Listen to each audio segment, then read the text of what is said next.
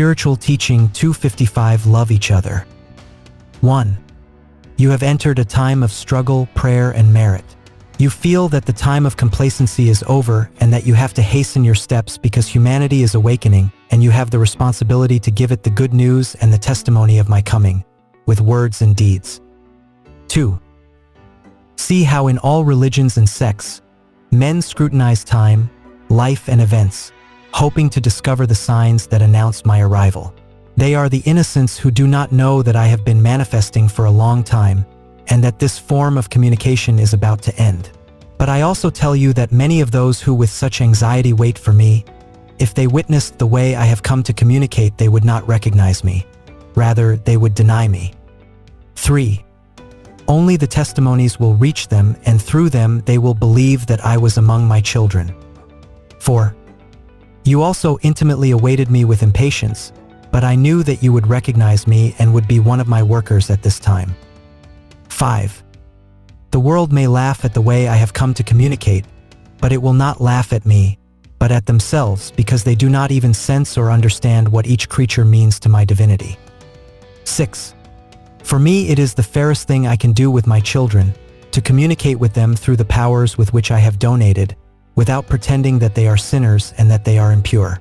What fairer incentive for the son to know his father, hear it, look at it, and feel it in order to love it. 7. It is said in an ancient prophecy that every sinful and non-sinful I should contemplate. Now, in this time I have told you, I have not come in search of the just to communicate through him, but from the sinner himself, who in the trials of life and in an instant of repentance was purified, because he is the Son who, knowing that he is loved and worthy of the Father, fully penetrates the path of regeneration and virtue. Eight of the spokesmen for whom I have spoken to you, who sensed the gift he already possessed and the service to which he was destined, before you hear my word? None. They were prepared throughout their lives as in a crucible, but their work remained kept secret until the moment to reveal it to him had arrived. 9. This is the principle or preparation for the spirit of man to know a higher communication with the Father, and you have been surprised. If you knew all that I have in store to reveal to you in due time, you would not understand why I love you so much, nor the merits that you will have to do to achieve such grace. 10. In 1866, the first congregation of spiritualists, disciples of this work, was born. Under the light of my spirit and oriented through Elijah, those first toddlers began to receive the flashes of the message that now, at its end, you are receiving in fullness. 11. From then until the present, many congregations have formed like branches that sprouted from that trunk founded by Roque Rojas. 12. Only one light has shone on the crowds that make up this people and yet how many differences exist between one group and another. Many years you have enjoyed the manifestation of my word through a simple, clear and understandable and very few have succeeded in defining the essence of the spiritualist doctrine. 13.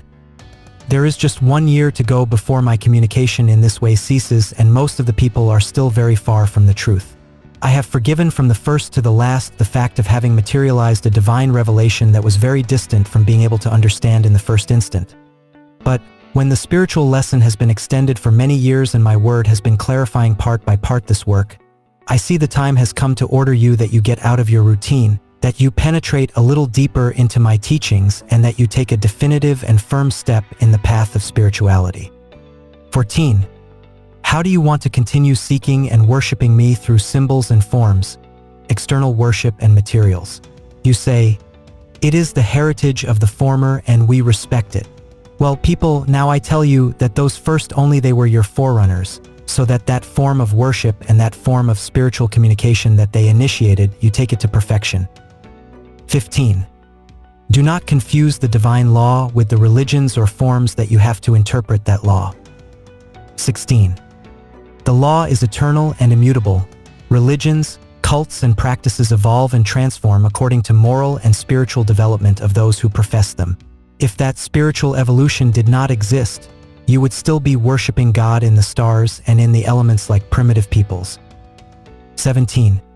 Do not stop in your way of loving me, serving me and worshiping me, always go further, always improving, seek your improvement.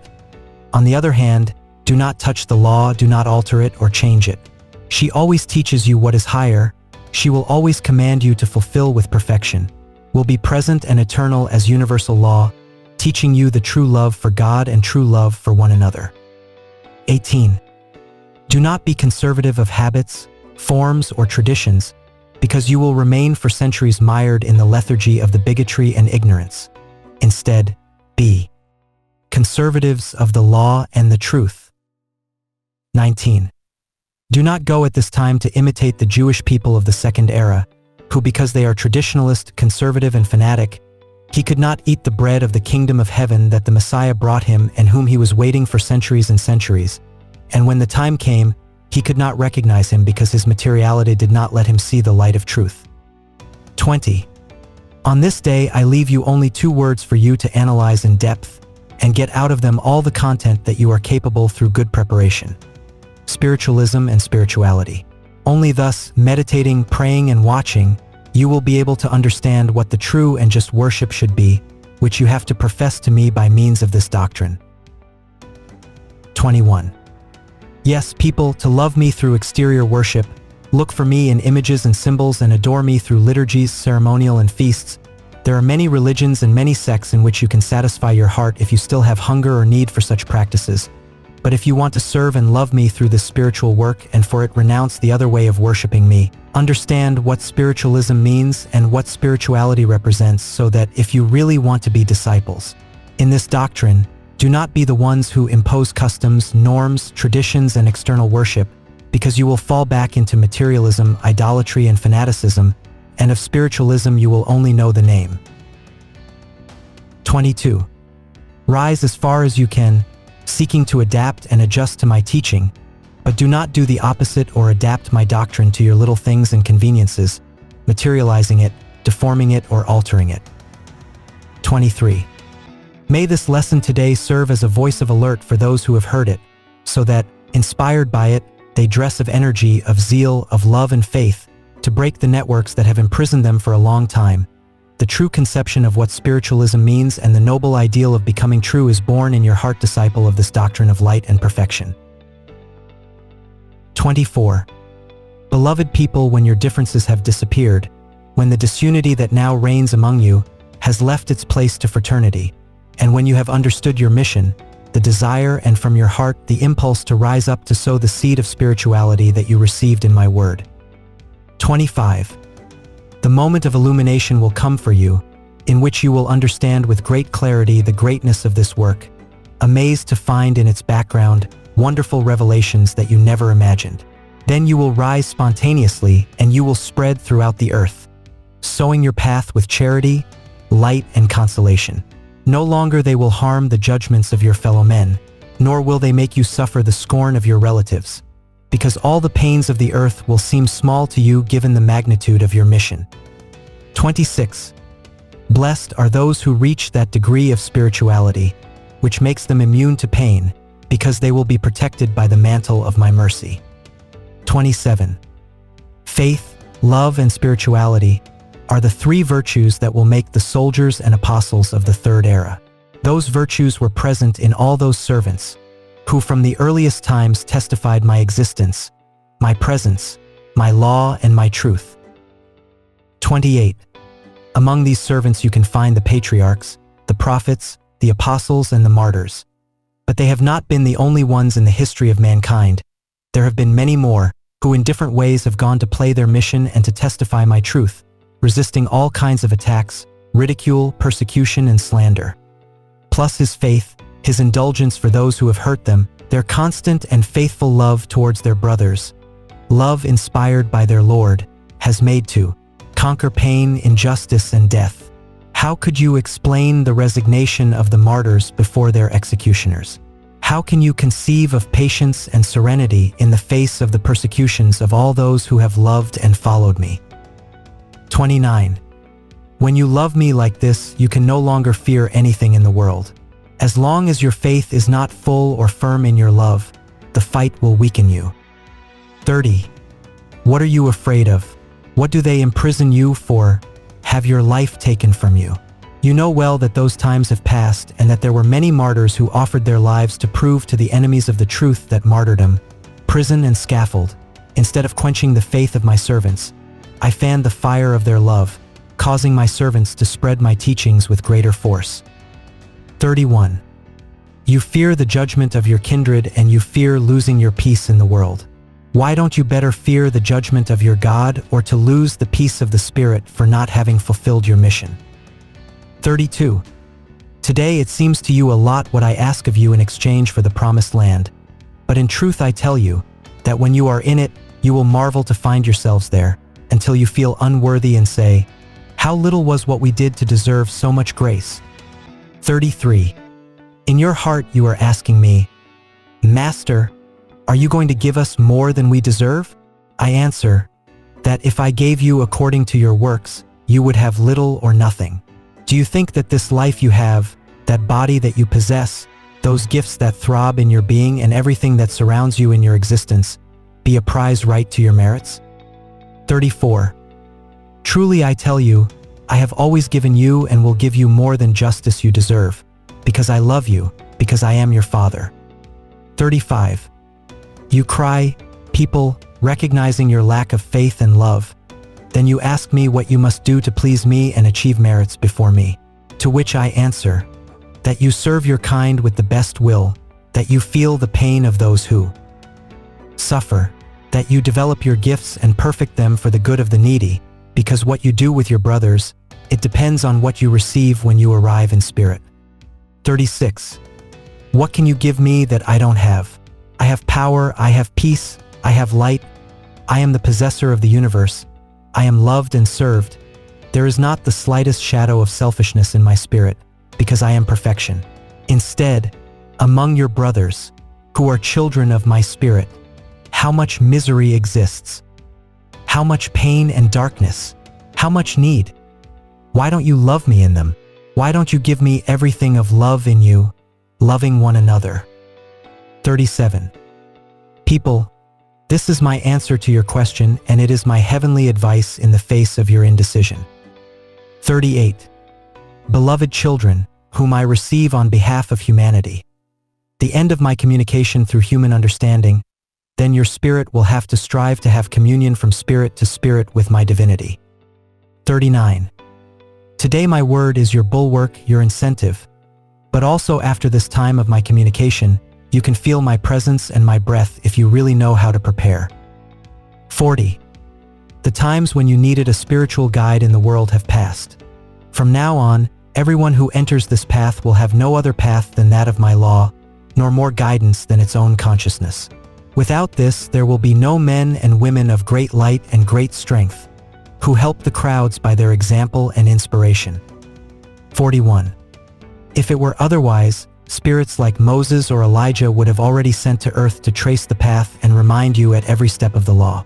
They help you, watch over you, and accompany you, but no longer through a human, but from the spiritual. Who sees them? Nobody. But if you prepare yourself, you will feel the presence of the great spirits who have always had a relationship with humanity and great missions to fulfill. 42. Seek them in your prayers and if you really trust them, I tell you that you will never get lost because they will lead you with that love and zeal that gave you so many tests in the world. 43. I tell you again that you will not lack in the world men endowed with great light, who illuminate your path and sow love in your life. Humanity has always had the presence of these men on earth and there are times when the great legions of spirits of great light come to the world, who will come to destroy the false world that you have created, to raise a new one where peace is breathed and truth reigns. 44. They are going to suffer much because of the wickedness of men. But it will not be anything new, since none of the envoys of God has escaped persecution, mockery, and offense. They will have to come into the world and dwell in it, because their presence is necessary on earth. 45. They will come calling with love to the heart of humanity. His word, impregnated with the Father's justice, will touch the pride and arrogance of all those who have exchanged the humble garment of their spirit for the attire of vanity, pride, false power, and false greatness. 46.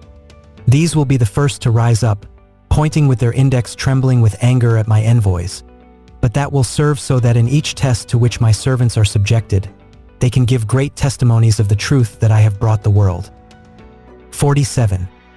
You do not know now in which paths of human life they will have to emerge, but I tell you that some will appear in the womb of the great religions.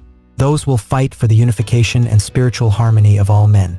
Others will rise among men of science to show with the fruit of their inspirations that the true purpose of science is for man's spiritual improvement and not his misery and destruction. And so on every path my servants will appear bearing my law in his heart and testifying with words and deeds what I have come to speak to you at this time. 48.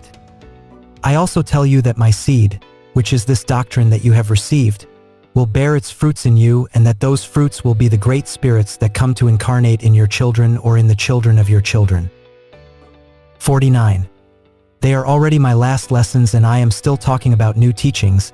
It is that I come to fulfill my mission of master until the last moment, shedding light on each word so that you do not remain in the dark in the times of bitterness and pain, when my divine justice makes itself felt like never before. 50. Watch and pray for the world, beloved people. 51. Come to me, I am the consolation and peace. 52. You have encountered bitterness and vicissitudes on earth for not having developed the spirit in its faculties and its gifts to overcome human miseries. 53. This world could be paradise instead of a valley of tears if men will carry goodwill. I planted blessings in this home. I did not water thistles in the roads. The pain of men comes from their faults, but just as they created pain, they must take charge of destroying it. 54. You who hear me are not a lost or wandering people. You are like a family that has built its home under the shadow of a stout tree, whose branches constantly offer you their fruits. 55. Under this shadow, you regain strength and heal wounds, because it will be necessary to start the journey again, to climb the ride to the top. 56. Now your spirit reaches to rise to the sixth step of the scale where you find the light that dissipates all confusion, and that he presents his help to reach the seventh step. 57. I will destroy the confusion and misinterpretations that exist among you about the seven seals. Really I say, it is not that you belong to a certain seal, but that you must travel your spirit from the first to the last. He lives now in the sixth seal or sixth stage of his spiritual evolution. 58. How great have been the lessons and trials that the Spirit has had to win to pass from one seal to another. How many merits has he had to make, and missing even the culmination, the seventh. 59. The force of evil, with its temptations, will insistently intervene in your step, but you will remember your master defeating the world, pain and the flesh, so that by imitating him, you will come out victorious from the test. Search your consciousness for the sword to fight, there you will always find the infallible weapon ready. 60. How can a spirit be irretrievably lost for me if it carries within itself a flash of my light that is never extinguished and wherever I go is in front of me? No matter how long your reluctance or how long your embarrassment may be, these will never be darkness longer than my eternity. 61. I have come to set you free again or don't you feel your spirit freer after having destroyed your past fanaticism and its prejudices? 62. I am life and I have come to pour it out equally on everyone. Even if you've always looked for a town or a portion of men to manifest myself in them, has been to turn them into emissaries, prophets, or witnesses of my divinity by service of humanity, but not because it distinguishes them with a greater love or complacency than others. 63.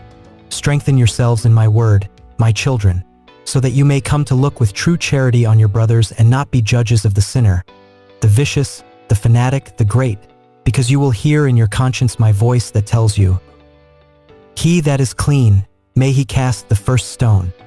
My peace be with you,